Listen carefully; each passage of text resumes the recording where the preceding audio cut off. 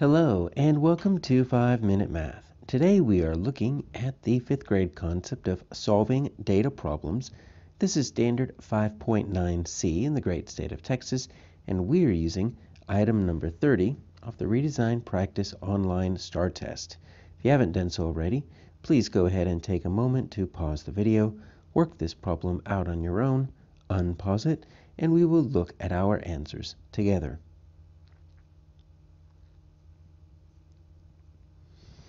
So we have a stem and leaf plot showing the number of books checked out of a library each hour on a Saturday and the total number of books that were checked out on Saturday. All right.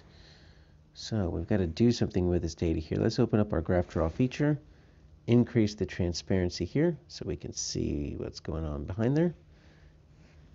All right, so always first check this key right here. The 2 slash 1 means 21. That's typically how these go. So really what we're looking at is place value, right? So the stem is going to be like the tens place, and this is going to be like the ones place. Now, let's take these numbers out one at a time, right? So I've got a 1 slash 0, so that's just going to be 10. And then I've got a 1 slash 5. Always bring the stem and then add it to one of the leaves. So 1, 5, well, that's just 15 just builds a number. And then 1, 6 is going to be 16. And what I'm going to do is rather than doing a big, long chunk of numbers, that tends to uh, make me mess up every once in a while. That's a lot of numbers to add together. I'm going to I'm going to add it in three small chunks and then add those chunks again. I'm going to get some partial sums because if I add uh, all eight of those numbers together, I might make a mistake. So that's going to be 11, 6 and 5, and there we go, 41. Okay, so that row is 41. All right, so let's do this next row. So I've got my 2 and my 1. right? so that's 21. So we're just building numbers. I've got 24. Actually, I've got two different 24s. Now you might be thinking, why would we even use stem and leaf plot? Well, if we're repeating a lot of numbers within the same uh, set of tens, right? It's it's a lot easier to write the two once and then just write a 1, 4, 4 rather than 21, 24, 24. You end up repeating the digit 2, so it's a little bit cleaner. That's one reason why we use the stem and leaf plot. Also, it kind of shows how many are within that band visually. All right, so 1, 4, 4. Let me see. So I've got 1 and 4 is 5, 5 and 4 is 9. And then I've got 6. Okay. Let's do this last one. Should be pretty easy. 3 and 2. 32. 3 and 5.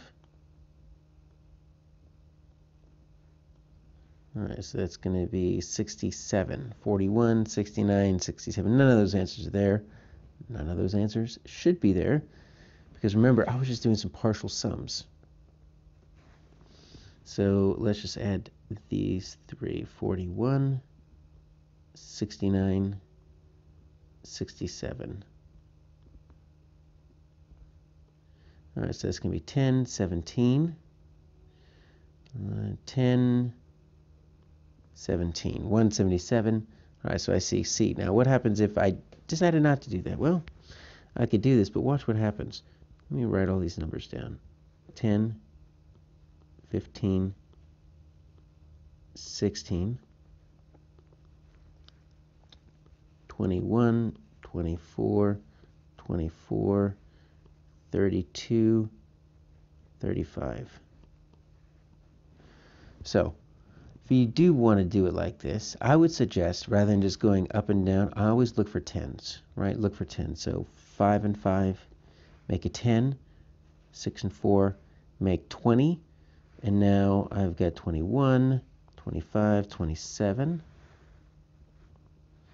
Uh, and so I always find that to be uh, just a little bit easier. All right, so now I've got, now I just need to add up and down. 10 is going to be a little bit hard. So 2, 3, 4, 5, 6, 7, 8, 9, 10, 11, 14, 17. So you get the same answer.